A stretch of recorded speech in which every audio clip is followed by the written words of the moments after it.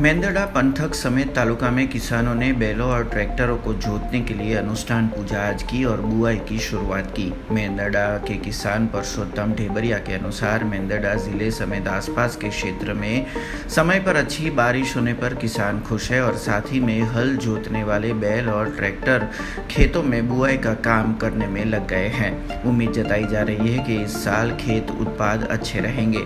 आज मौसम खुला हुआ था, तब किसानों की ओर से मूंगफली और सोयाबीन जैसी फ़सलों के लिए बुआई शुरू कर दी गई है।